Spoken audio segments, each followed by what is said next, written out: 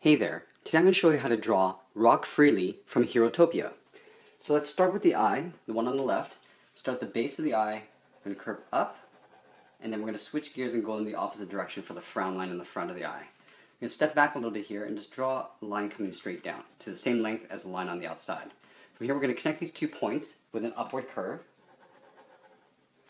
Now we're going to draw the pupil. So in the inner right side, we're going to draw a round circle. So this gets tucked in underneath that brow line. Up here on the top right corner, we're going to draw a little white circle. And then behind that, we're going to draw a semicircle and then color that in black. So we've got a little highlight inside the eye. We're going to draw that same eye, but we're going to flip it over on the right side here. But we're going to condense the eye just a little bit because I have the character facing that direction. So we'll start in the inside. We'll go up and then we'll come down. So we want to make sure that we get that same height on the left and the right. And coming down on the bottom here, the same as on the left. And inside here, I'm just going to come straight down with a little line. We're going to connect these two points with an upward curve, just like I did on the left. Let's draw that pupil. So up here, we're going to draw a circle, same size as the one on the left. We'll draw that little highlight at the top. And then right behind that, we're going to draw another circle and color that in black. Okay, so now that we got the eyes, we can get down to the nose. So down in the middle, right about here, I'm going to draw an upside down triangle. So a line straight across, and then we're going to come down to a center point below it. Draw the mouth. So I'm going to have him grinning. So up here, I'm going to draw a curve like that, just the frown line. Then in the middle, I'm going to draw a curve coming across the face. Let's draw the contour of the face. Now the chin comes down to right about here, but on the outside I'll draw the contour of the face. So starting just above this eye, I'm going to curve outwards. And then right here I'm going to smoothly curve towards the chin. And we're going to come up to the side right about here, just on the same line as the eye, with a curve, connecting right to the chin and we'll draw in the hairline. So right about here, up here, I'm going to draw a curve, just intersecting with that line. I'm going to go up with the curve. I'll come down, draw a little strand of hair, and I'm going to go back up again. Now from here, I'm going to draw that same sort of jagged edge. So I'm going to come down, then back up. Here we're going to draw one big swooping piece of hair coming down the middle of his face. So here I'm going to curve down between the eyes, and I'm going to curve up. Now here I'm going to switch direction. I'm going to take this point and just try to intersect past that line there. So come across and just past the face, and then back up again. Now here I'm going to go out to the outer part of the hair band. Okay, now here I'm going to draw the mask. So the mask is basically a curve that goes above this eye, comes down in between the eyes, and then goes back up again. So because the hair is on top, I'm going to have to draw in behind the hair. So starting over here, I'm just going to imagine this line going up behind that hair, up behind this hair, and it's going to come down and curve back up and then out. Let's draw the bottom part of the mask. So this I'm going to curve in the opposite direction below that eye. So right from this point, I'm curve up, up above that nose, and curve down, and then back up into that cheek. So now that we got that, let's get into the ear. So here, I'm just going to start up here and just draw a curve that looks sort of like a C. Up here, I'm just going to draw a curve for some ear detail. And right here, I'm just going to draw a little line that goes down. Now let's draw the rest of the hair. He's got a big head of hair. So I'm going to probably draw the hair right up to about this point. On the side of the ear here, I'm just going to go up with a curve, and I'm going to come down. Now I'm just going to draw a couple strands of hair coming out. Go up, and come out again. And right here is where the hair is going to start to split and go in the opposite direction. So here I'm just going to go up, and then back down. Now I'm going to have this big sweeping piece of hair that goes across, but in the middle somewhere here I'm going to draw a little break. So probably draw a curve. So right about here, go up, and curve to the outside. Here I'm going to curve back in just a little bit. Now I'll take this point, I'm going to meet that point at the far end of his hair, just like so. Okay, so we got the hair and the head. Let's get into the body area. So right about here, I'm going to have his body sort of turned. He's going to have one arm out, one arm sort of in a fist, standing on his guitar. So right about here, I'm going to put the neckline. So up about here, I'm going to draw a half circle. I'm going to go inside and draw a smaller half circle, just like that. Let's draw the shoulder pads. So right about here, I'm going to have a big blocky shoulder pad. So I'll come straight out. I'm going to curve. And then this I'm going to tuck in just under the head like that. And for a little bit of detail, I'll just draw a little circle inside. Let's draw one more on this side. So this side I'm going to draw a line straight out. I'll curve. And I'm going to tuck this in behind the face and I'll draw a circle just like that. Now before I get into the body, I'm going to have to draw the things that are layered on top. So the first thing I, that comes to mind is the arm. So the arm coming down this way gets overlaid on top of the body. So let's start with the with the arm. So right about here, because his neck starts here, his arm is going to come out from that neckline. So his elbow would probably be located about here. So I'm going to draw a straight line, aim towards that neck, but I'll stop and tuck that in below that shoulder pad. From here, I'm going to curve down. So this is where the wrist will be. I'm going to move over. I'm going to keep a little bit of space here. I'm going to go up towards the elbow. Now here, I'm going to go straight across and probably just stop right about there. Now for the glove, I just want to intersect these two lines with a curve. So doing a curve for the edge of the glove. Now I'm going to keep the, the glove quite simple. So here, I'm just going to curve to the outside where the knuckles would be. From here, I'm going to curve in the opposite direction. Now, about halfway down this glove, I'm going to find a little separation. So I'm going to draw a curve, and from here, I'm going to pass that line just a bit. So this is going to be the thumb. This gets tucked in like this, and we're going to draw some very simple fingers. I'm going to draw like an oval right like this for one finger. Now I'm going to do a series of overlaps. So from here, I'm just going to curve this behind. I'll do one more here, and then a final one for the pinky, just like that. Now if you want to add a little bit more detail, it's got some wrist detail here, so I'm going to draw a line up, draw a curve, and then continue that line again. And then I'm just going to draw a little curve like this. So curving around that wrist line on the inside and outside, and then connecting it with a straight line. Okay, so now that we got the arm, let's get into some of the body. So his body's going to be turned down, so his waist will be located right about here. I'm going to start with the backside first. So here, I'm just going to come back a little bit and draw a curve to his hips. Now, I want to make sure that I get the width of his body right, so I'm going to probably come to about here and draw that same curve down to his hips. From here, I'm going to draw a curve that connects these two points, but in the middle of his belt buckle, he's got this little emblem. So I'm going to start in the middle here, draw a straight line across, and a curve down to a point. Kind of like that. Now I'm going to connect these two points, but this is going to get overlapped or behind that emblem. So I'll start on the left side, curving, continue behind, then up again.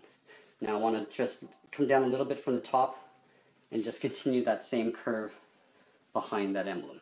It's got another emblem in the middle here, so I'm going to draw a curve at the top. From here I'm going to curve down to a center point in the middle, and continue upwards to connect the two points. And down the middle of his body, he's got this line that separates the body. So from the middle of the neck, I'll come to the middle of the emblem. From that point, I'm just going to curve down like that. Okay, so now we got the body. Let's get into the arm. So this arm I'm going to have straight out with a fist. So we'll start with the top part of the arm. So again, from the neckline, I'm going to draw a straight line to the elbow. And from here, I'm just going to bulge out a little bit for the forearm. Here, I'm going to come down a little bit and draw a straight line to the elbow. And I'll just curve out a little bit for his forearm. Again, like I did here, I'm going to overlap a line on top of these two lines. So I'm going to curve a line like that. From here, I'm going to draw a straight line. From this point on the bottom, I'm going to draw another straight line. Now I'm going to connect these two points with a curve. It goes kind of like that. Now for the thumb, again, I'm going to keep this very simple. Let's draw a curve that goes up and I'm going to curve this back in the opposite direction. And now I forgot to do a separation for the thumb here, but I'll do it right here first. From this point, I just want to curve around to just separate that thumb, that area right about here. I'll go back here and I'll do the same thing. Just drawing a separation like that.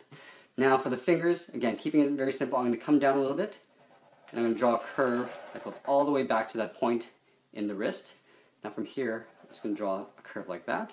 Now, again, like I did here, I'm going to draw a series of overlaps for the fingers. So coming around like this, I'm going to do this three times for the three fingers behind it, and separating the fingers with a little curve along the top. Okay, now that I have that, I'm going to draw the same detail that I have on this wrist over here. So I'm going to start in the back here, drawing a straight line across, a little half circle, and then continue that line across, and then that little square box at the top of the wrist, connecting the two lines like so. Let's get into the legs. So the legs are going to come out and he's going to be standing on this board. So I just want to locate the bottom of his torso first. So I'll locate the middle of his body. Going to draw a straight line across. From here, I'm going to go to the outside edge of these hips. From this point, I'm going to curve out. And then from this point, I'm going to curve out. Equal length, uh, equal distance across the leg. From here, I'm going to curve in the opposite direction. Then from here, I'm going to curve in the opposite direction, but getting a little bit wider as I get to the bottom. From here, let's do what we did on the wrist and just put a line, curve, that goes across each one. From here in the back, I'm going to curve down to the back of the heel. Now from here, I'm going to want to draw the front of the foot, but down the front there's some big buckles. So what I'm going to do is right about here, I'm going to draw an oval. And below it, I'm just going to overlap another oval just behind it. From this point, I want to come down to a wider base of the ankle. So right about here, I'm going to angle out and stop right about here.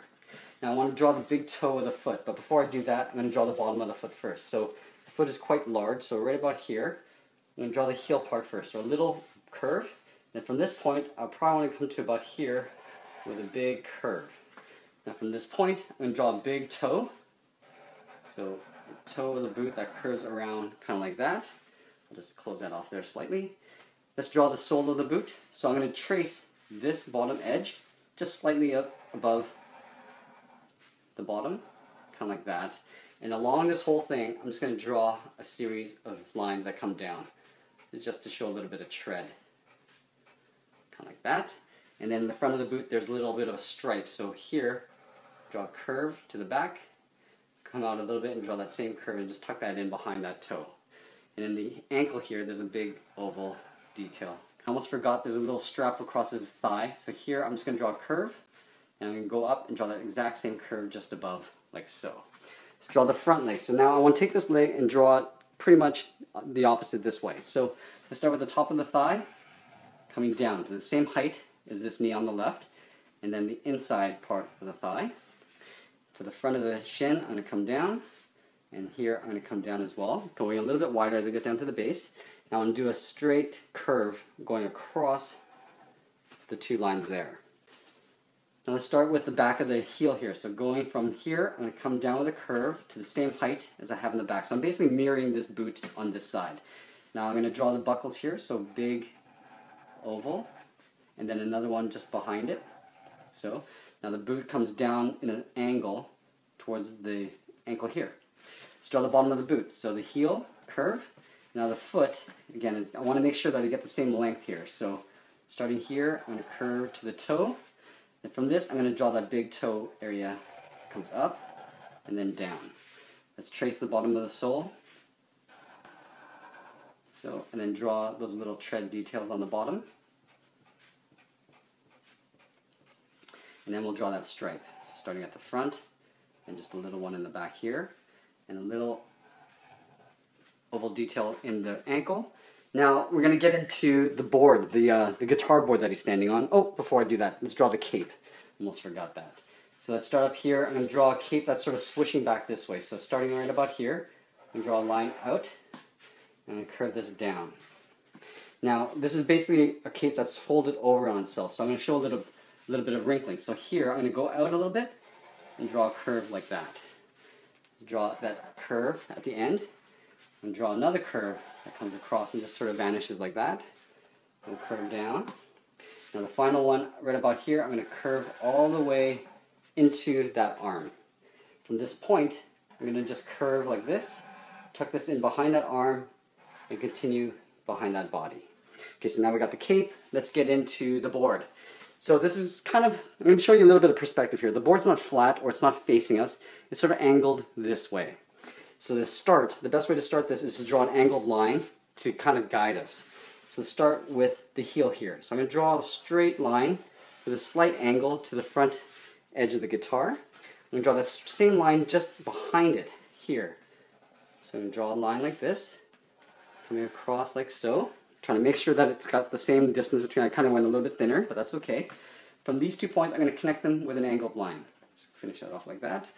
Now for the guitar, I'm going to draw the base of it. So here, right about here, I'm going to come all the way out with an angle and just kind of go right into that piece there. From this point, I'm going to go up, slight angle, and then this goes right into that foot like that. Behind here, I'm going to draw an angled line going behind that boot. Now to give this some perspective, I'm going to make this a little bit deeper. So from this point, I'm going to draw a little line coming down. Up here, I'm going to draw a line coming down. So where it intersects here, same length line as I have in the back here. Up here, I'm going to draw another line. Now all I have to do is connect these bottoms with a straight line. So I'll try to get this as straight as possible here. And then from here, well, getting a little bit wiggly right there. There's a couple buttons here. Or knobs, I'm going to draw an oval, draw two lines coming down from the ends, and connect it with an upward curve. Let's draw that again. So an oval, two lines coming down from the end, and connecting it with an upward curve. So now we got that. Let's get into the bottom end part here. So right here at this point, I'm going to come down an angle. So I'm sort of changing angles slightly. From this point, I'm going to go up in an angle. And here it looks like there's a tip that comes out, connecting these two points with a straight line. Now, for that perspective thing that we just did here, I'm going to do the same thing here. So where it kind of changes angle, I'm going to draw a line down. Here I'm going to draw a line down, and here I'll draw a line down. There's these knobs that go across the edge here, so all I'm going to do is, just to make it simple, is draw these really long ovals. I'm going to draw what looks like there's five of them across. Now, connecting these two points with a straight line, connect this point to here, but going behind those elongated ovals all the way across and connecting these two points with a straight line. Now there's a little bit of detail there, but I'm going to leave that out for now just to keep it simple. But there we have it. There's Rock Freely from Herotopia. I hope you enjoyed this lesson. Please give us a like, share this with your friends. If you haven't played Herotopia, try it out. Go to the website, link in the description of this video, and you'll access the game. Thanks for watching everybody. We'll see you again soon.